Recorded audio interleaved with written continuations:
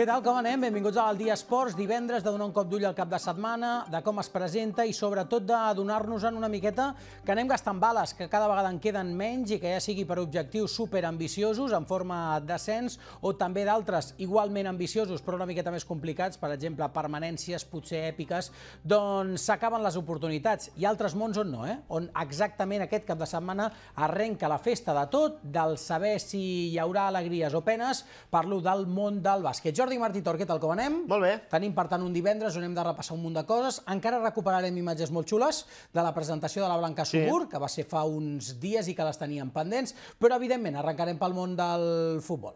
Home, i tant, perquè el Club de Futbol Vilanova doncs, té un autèntic partidàs. Comentaves que era un cap de setmana on encara hi ha equips que, que juguen coses, que, que estan immersos en objectius interessants, perquè lluitar per la permanència doncs, és, és més una penúria que no pas un, un objectiu interessant, però sí que el Club de Futbol Vilanova necessita guanyar sí o sí al Mollerussa aquest cap de setmana per mirar de, de seguir a dalt. Bona notícia, juguem a casa. Què passa quan juga a casa el Club de Futbol Vilanova?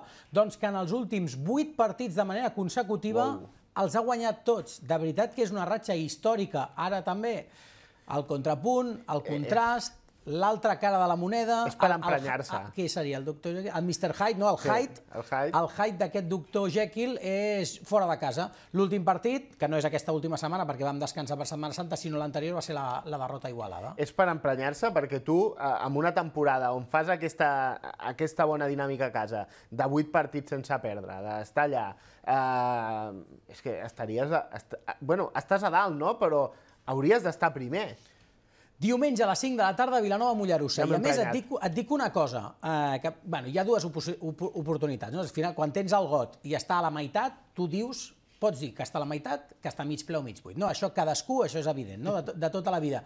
Si ens posem a pensar en negatiu, doncs evidentment, eh, t'entra mala llet, eh, la impressió de que estàs deixant passar trens Sí. i els trens passen i estan passant fins que deixen de passar i no ho saps que era l'últim fins que ja és massa tard. Sí, sí. Això és evident, però també és veritat que fallant tot el que està fallant al Vilanova, segueix allà. I això passa perquè el Vilanova no és l'únic eh, erra, l'únic que ens ho pega en aquest grup tercer de primera catalana. Hi ha altres grups que estan decidits. Ja sabem que puja eh, la Muntanyesa, ja sabem que puja també el Tona. En canvi, el club de futbol Vilanova encara segueix immers en aquest grup tercer, on els candidats cada vegada són més. I per què t'he dit el rival del Vilanova? Perquè el Mollerussa, igual que va fer el Valls fa unes dates, ha encadenat una ratxa espectacular i s'ha guanyat de ple el dret a ser un mes.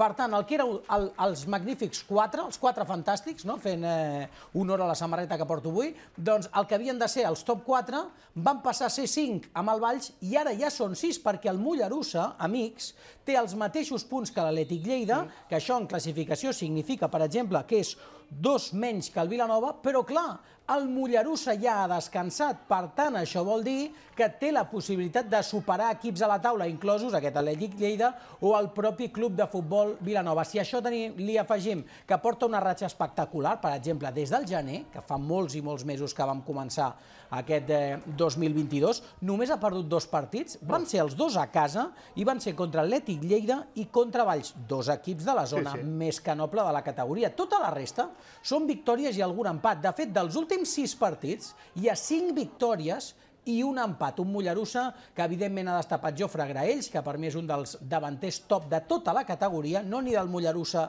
ni de les Terres de Lleida. Per mi és un dels millors jugadors de tota la categoria, Jofre Graells, màxim anotador, i que també té en un mite del futbol català i també lleidatà, eh, l'ex del Balaguer, de l'Escó, Adrián Fernández, com una de les claus d'aquest equip. La bona notícia, doncs que Adri Fernández no hi és perquè compleix cicle de targetes i per tant és baixa pel diumenge a les 5 de la tarda a l'Alumnes Obrers. Doncs, malauradament pel Mollerussa, però pel Vilanova és una excel·lent notícia, que no estigui un d'aquests jugadors determinants. Um, veurem el Vilanova, perquè clar, tal i com estàs venent el Mollerussa, sembla que és l'equip que pot trencar la dinàmica a casa. No, esperem que no, però és que a principi de temporada, per exemple, sortien les travesses de candidats. Sí, sí. La primera volta no va ser bona, de fet va estar per sota eh, d'aquestes altes expectatives i això va fer que semblés despenjat, però clar, la ratxa d'ara és tan tan bona que s'ha tornat a enganxar de ple en la lluita. Un Mollerussa que, com veiem en les imatges, va perdre dos punts en el 90 i Vilanova. En la primera volta, un partit que va anar 0-0 88 minuts, on es van avançar els locals en el 88, però que va trobar amb aquest gol de Mati eh, l'empat del Club de Futbol Vilanova. Un Mati, per cert, que és dubte fins última hora per aquesta fissura al dit del peu. Les baixes, de fet, parlàvem de la sanció d'Adrià Fernández en el Mollerussa, però en el Vilanova també déu nhi perquè sancionats estan Luca Zarce, que més per lesió tampoc podria jugar, i Edgar Dobles, el davanter que portava ara dos gols en els dos últims partits a casa i que aquest cop compleix cicle de sancions i per lesió, doncs fora Xavi Fernández, un altre davanter. La defensa del Vilanova especialment marmada perquè Àlex Iloye es baixa per motius personals. Per tant, no hi ha Luca Zarce, no hi ha Iloye. Veurem si Semur pot fer allò d'anar-se reenganxant a l'equip o no. En tot cas, el diumenge ho veieu ara sobre impressionat a les 5 de la tarda i en directe per Canal Blau FM i pel nostre canal de YouTube de Canal Blau Vilanova Mollerussa. És el partidàs de la jornada. El Vilanova busca la novena victòria seguida per seguir enganxat a dalt. Que la resta fallen, com va passar fa 15 dies, on el Vilanova va perdre Igualada, però els cinc primers van, no va guanyar cap ni un. Doncs, eh, evidentment, aprofitem la jornada. Saltem a segona catalana, va. Sí, una segona catalana, que també 25a jornada, amb un Cubelles que juga demà, un quart de sis, davant del Montserrat Igualada, partit important pel Cubelles per seguir traient el cap de la zona baixa de la classificació, i ja diumenge a les 12, la Unió Esportiva Sitges, que sembla que ja està despenjat de la lluita per l'ascens, s'enfronta al Sant Andreu de la Barca, i el diumenge a les 6 tancarà la jornada dels nostres l'Olivella, que s'enfronta a l'Sporting Gavà. El Sant Andreu de la Barca és rival de Cubelles i Olivella per la permanència, per tant el Sitges ha de fer els seus deures, que és guanyar i ara es fallar que, esperar que fallin tot el que ha fallat ell, no? mm. ja sigui el Terlenca o sobretot Prat Bé i Sant Mauro, sí. que evidentment en algun moment hauran de deixar-se punts i ara ve jornada propícia. També és veritat que el Sitges ha jugat ja contra la gran majoria d'aquests equips de dalt i en canvi entre ells encara s'han de veure les cares, no? i això farà que hi hagi jornades propícies. Però clar, o tu millores el teu rendiment clar, clar. o ni tan sols et donarà per recuperar aquesta posició de primera, sí. de, de primera espasa, de líder o de segon que has ostentat durant gairebé la meitat de, mm. de la Lliga. Eh, et deia que el Sant Andreu de la Barca és rival de Cubelles i Olivella per la permanència, si de retruc també fas un favor al veí, doncs benvingut sigui, perquè evidentment tant Covellencs, que ara estan fora, eh? una sí. molt bona ratxa, dues victòries seguides en el derbi i contra, i contra l'Òdena, i l'Olivella, que això sí li està costant una miqueta més en les darreres setmanes, on competeix bé, de fet gairebé mira de tu a tu, cara a cara, els millors equips de la Lliga, però habitualment acaba, acaba perdent al mm. final, amb excepció del derbi, eh, evidentment, doncs eh, absolutament tot obert. Ha de mirar a donar un cop de mal Sitges als altres dos garrafencs. Um, repassem més futbol d'aquest cap de setmana a tercera i quarta catalana, partits tan interessants com aquests. Com per exemple el del Club Deportiu Ribes, demà a les 5 davant de la Granada, el Bosc de Plaça, l'Atlètic Vilanova, que també demà a les 6 s'enfrontarà a la Múnia, i la Penya Jove, que juga diumenge a les 12 a casa, al municipal de les Roquetes, davant les Cabanyes. Un eh, partit que, eh, amb el partit de la Unió Esportiva Sitges, també diumenge a les 12 tancarà la jornada. Una Unió Esportiva Sitges que s'enfronta al Bas Espirall. I que està en un moment de forma espectacular, no només guanya, sinó goleja l'equip de Toni Salido, però que sembla que li arriba una miqueta tard, no pel rendiment de l'any, que està sent excel·lent, sinó per lluitar contra aquests dos monstres, contra aquests dos gegants, que són Penya Jove i Atlètic Vilanova el Ribas també, ha perdut punts en les darreres setmanes. És una bona pedra de toc per l'Atlètic Vilanova, perquè el camp de la Múnia és dels més complicats que té la categoria i, evidentment, si la ratxa vol seguir sent de matrícula d'honor, com és amb Sigor Bengo a la banqueta, no pot eh, fallar i, evidentment, aquí qui mana, qui marca la pauta, és la penya jove, que té 5 punts d'avantatge sobre el segon, que és l'Atlètic Vilanova,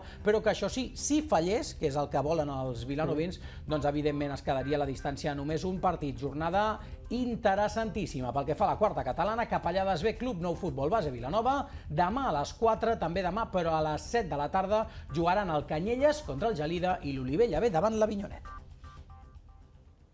I hem de rematar el món de futbol amb aquest món obert que tenim a la Federació Catalana de Futbol, on fins a quatre candidatures, en principi, s'acabaran oficialitzant i totes elles tenen al territori Penedès-Garraf un dels seus punts d'atracció. Anem coneixent aquests noms i, evidentment, aquests dies també se'n van presentant. A Barcelona es va presentar la darrera de Juanjo Isern, aquest exvicepresident de la Federació Catalana de Futbol. Jo el recordo un munt d'anys a, l'Europa, aquells anys on Vilanova i Europa es veien les cas, també ha tingut algun càrrec a la Generalitat de Catalunya, un home de futbol de tota sí. la vida i que va ser una de les veus discordants de la Federació de Joan Soteres. Eh? De fet, sí. va acabar perdent la confiança, eh, ell va acabar dimitint, el van acabar fent fora, és igual. Sembla que encapçala una de les candidatures que se'n diu de nova federació, perquè busca un canvi radical, un canvi de paradigma, diu, en les seves pròpies paraules. Aquí el tenim Juanjo Isern, un Juanjo Isern que més enllà de la seva presentació oficial, que va acompanyar d'alguns noms importants del món de l'esport i del món de la societat i cultura catalans, amb el que, per exemple, ara Toni Pinilla, l'exjugador del, del Futbol Club Barcelona i exintegrant també de la Masia, el futbol base blaugrana, doncs el que ha fet aquesta setmana és trobar-se amb una representació dels clubs, amb els presidents de diversos clubs del Penedès i del Garraf, una mica per donar-se a conèixer, que ja el coneix tothom, però sí per presentar les bases no, d'aquest projecte, on assegura que ni cobrarà ell ni cobrarà cap membre de la seva junta directiva, que per exemple la selecció catalana de futbol o jugarà partits oficials o seran benèfics, però no vol més costellades i evidentment hi ha molts punts, alguns dels quals passen sobre aquesta lema, aquest lema que diu nou paradigma. El nostre objectiu principalment és, és fer un canvi de paradigma del que actualment és la Federació Catalana de Futbol. Considerem que la Federació Catalana de Futbol ha tocat fons, està en una situació que realment no és la que tots els clubs de Catalunya desitgen pel seu descrèdit, per les seves lluites internes, per la situació absolutament deficitària de democràcia i de, i de col·laboració amb els clubs, i nosaltres volem presentar un projecte innovador, diferent, que converteixi aquesta federació catalana, que avui en dia és una gestoria amb una veritable estructura d'estat, que valorin la federació com és, com la major entitat i organització esportiva del nostre país i, en definitiva, un projecte que tiri endavant les perspectives de lo que realment pot ser la major organització esportiva del futbol a tot l'estat espanyol. Clar, els clubs del Penedès Garraf representen per mi una part molt important del que ha de ser eh, les eleccions en el futur. Considero que en aquests moments hi ha molt descontent en general, els clubs estan molt descontents, hi ha una gran guerra interna entre dues faccions eh, de la pròpia junta directiva actual, la facció del president actual i la facció del president anterior. Totes aquestes guerres només comporten perjudicis pels clubs, perquè totes aquestes guerres acaben totes amb judicis, en querelles, en difamacions, i tot això té un cost jurídic que al final acaben pagant els clubs. Demanem que qui voti la nostra candidatura tingui clar que nosaltres netejarem tota la qüestió judicial, no volem guerres amb ningú, volem pau amb tothom, deixarem de pagar grans despeses d'advocats que al final són despeses que paguen els nostres clubs i que és un increment de les aportacions que han de fer els clubs per poder cobrir aquests deutes principalment motivats per guerres internes. I això amb nosaltres, evidentment, no passarà mai.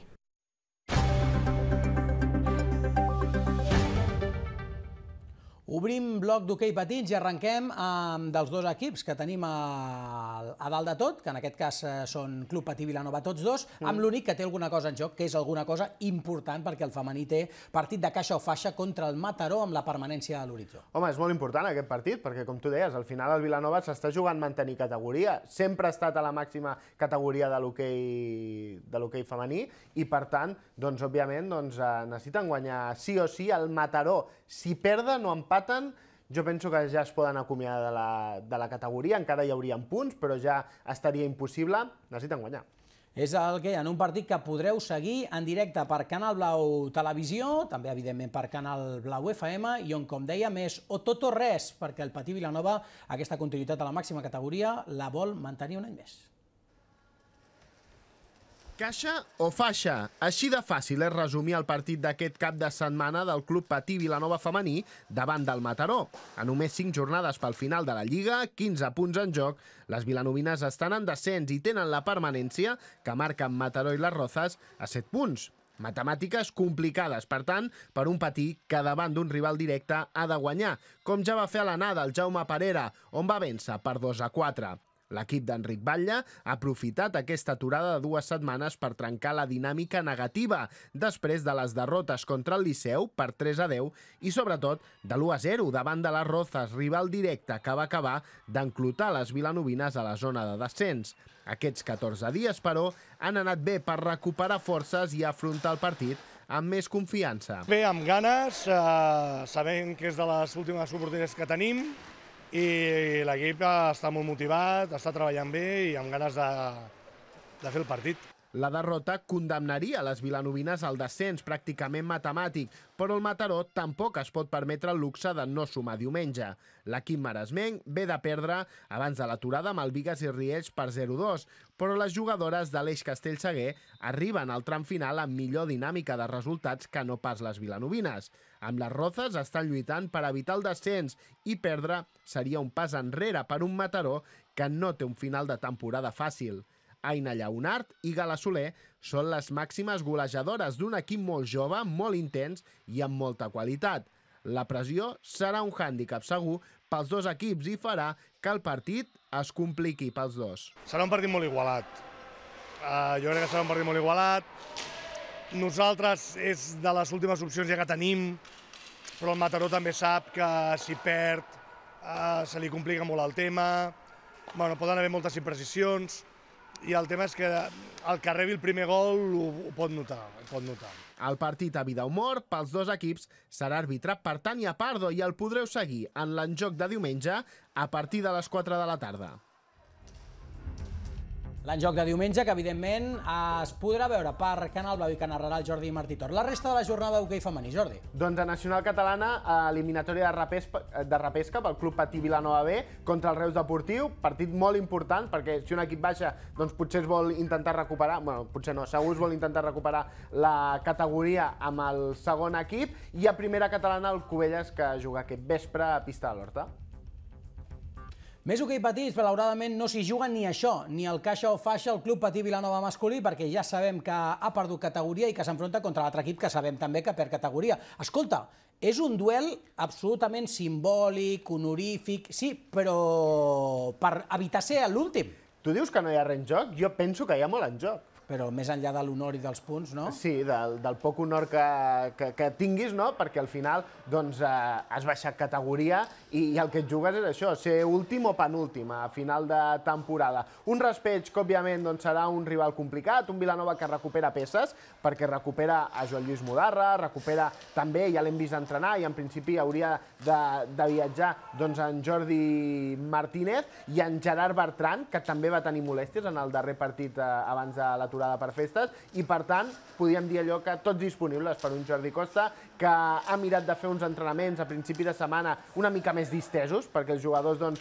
tornessin a agafar ritme competitiu, però que de totes totes ja s'ha posat per parlar i per uh, analitzar un respeig que a casa seva compta també, a part de menjar un Marché, que és un tros de jugador amb molta experiència, doncs compta també amb Álvaro Navedo, que és uh, un porter també amb molta experiència, han passat a l'Alcoi, que normalment no viatja fora de, de la comunitat valenciana, només juga els partits de casa, i per tant serà un partit complicat. Es jugarà demà a les 8 del vespre i, com dèiem, el Vilanova es juga aquestes opcions encara doncs, de no ser últim i de guanyar algun partit d'aquí a final de temporada, en queden 3. L'aturada ens ha anat bé per, per oxigenar i per, per afrontar aquests últims tres partits que ens queden a la categoria amb, les, amb, amb una miqueta més d'il·lusió. Són aquests partits que ningú s'hi juga res i, i són, són molt perillosos. Igual que podem sortir deixats anar, que és el que espero que, que ens passi, que sortim deixats anar i que ens traiem la pressió de sobre i que, i que juguem com, com sabem, també és veritat que el respeig jugarà el mateix i que, i que, que ara és una, són, són partits eh, molt, molt difícils de preveure perquè això no sabem ben bé, ben bé què ens trobarem. Uh, M'agradaria pensar que tindrem un partit, no et diré que plàcid, però un partit en el que puguem ser dominadors, en el que puguem anar per davant del marcador i anar-nos i anar assentant, però, però seria un pèl massa agosarat i, i optimista, potser. Però sí espero que, que puguem competir i que els nanos treguin els, els tres punts que, que mereixen i necessiten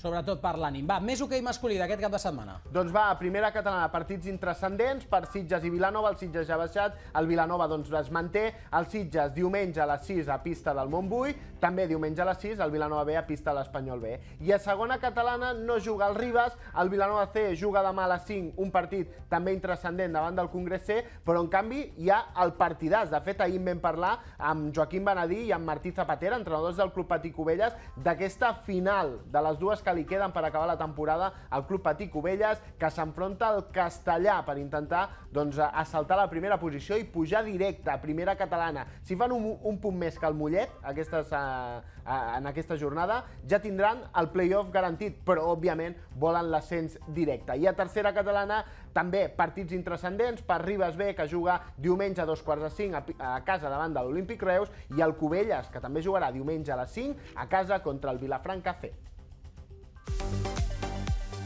Centre Mèdic FEDEAR.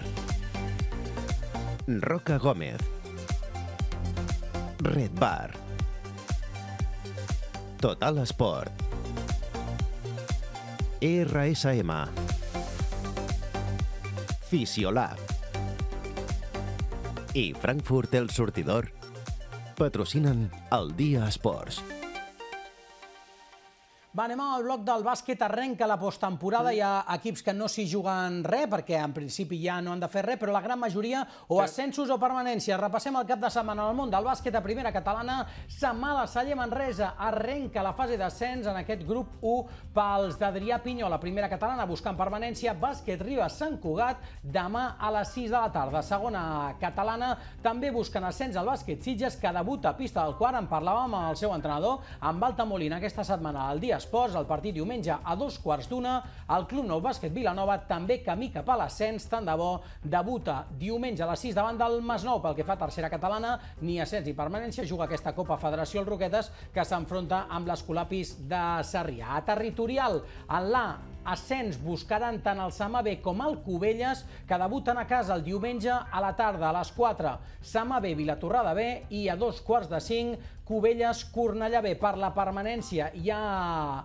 involucrats el Sitges B i el Canyelles. Sitges B, SIC, demà a dos quarts de 8. EPSA, Bàsquet Canyelles, el diumenge a dos quarts d'una. I acabem a Territorial B amb els partits de Roquetes i de Club Nou Bàsquet Vilanova, el Sèniors B, demà a un quart de cinc davant del Sant Andreu, el Roquetes i el Club Nou Bàsquet Vilanova davant del Sallent el diumenge a les 6. Bàsquet femení, Jordi. Doncs també lluitarà per l'ascens el bàsquet Samà, que jugarà diumenge a les 8 del vespre a casa davant del Sant Nicolau. S'estrenen en aquesta fase d'ascens. I a tercera catalana, fase de Tarragona pel bàsquet Roquetes, que juga demà a les 8 a pista del Vilaseca Groc. I a territorial A, els eh, equips que lluiten per l'ascens són el bàsquet Sitges, que s'enfronta diumenge a 3 quarts de 7 de la tarda al bàsquet Llinars, i el bàsquet Ribes, que jugarà a casa també diumenge a dos quarts de vuit, rebent el Sant Josep Obrer B i eh, s'enfrontaran sense res en joc, podríem dir, el eh, nou bàsquet Vilanova a la Garriga diumenge a les 6. Descansa aquesta jornada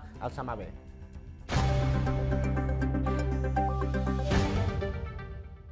Tram final ja del programa, només per fer un apunt poliesportiu, i és que aquest cap de setmana Ribes tornarem a veure imatges tan interessants com aquestes. Torna la BTT de Ribes, és la 28a edició i repeteix doble recorregut. Sí, aquests eh, dos recorreguts, un de 25 quilòmetres, més assequible per tothom, amb uns 600 metres de desnivell positiu, i després hi ha un de més exigent, com no pot ser d'una altra manera, 50 quilòmetres i 1.250 metres de desnivell positiu positiu. Aquesta BTT de Ribes, que òbviament eh, per tots els corriols i totes les pistes del voltant del Montgròs que seran l'escenari d'aquests dos recorreguts. La sortida al matí de diumenge des de l'esplanada des de l'esplanada que hi ha darrere del pavelló, allà mateix on hi ha sí. l'IAS eh, Montgros. Torna la BTT de Ribes. Avui acabem amb imatges i música sí. d'una de les presentacions de la base. Cada vegada es perd més amb això del Covid, que ha impedit la gran majoria d'actes. Costa que la gent es reuneixi i tingui sí. el gran dia. Doncs bé, avui sí que podem acabar